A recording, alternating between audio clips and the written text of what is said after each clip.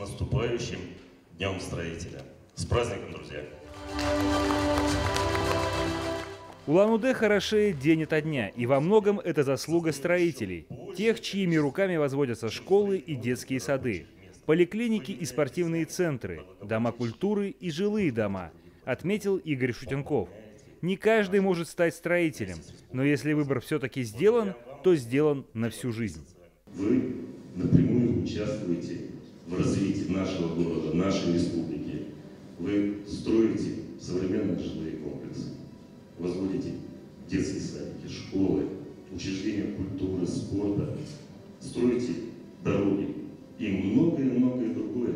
И эти объекты сегодня являются не просто функциональными зданиями, они уже сейчас являются украшением города. И благодаря им нашим горожанам становится жить намного комфортнее.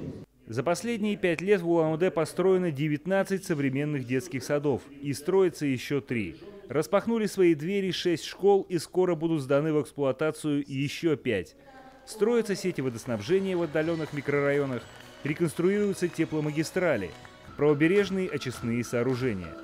Усилиями опытных инженеров-проектировщиков в Улан-Удэ появляются целые кварталы –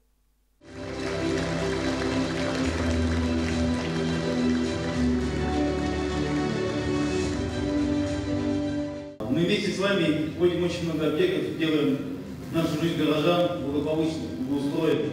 Поэтому пожелать каждому из вас благополучия, удачи. Стройте на совесть, стройте века, чтобы вами гордились наши потомки.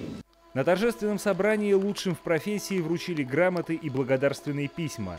Награды получили не только строители, но и монтажники, прорабы и все те, кто имеет отношение к строительной отрасли. Степан Столбовский, Мария Латышева, Базыра Юшеев, Жаргал Царенташиев. Новости дня.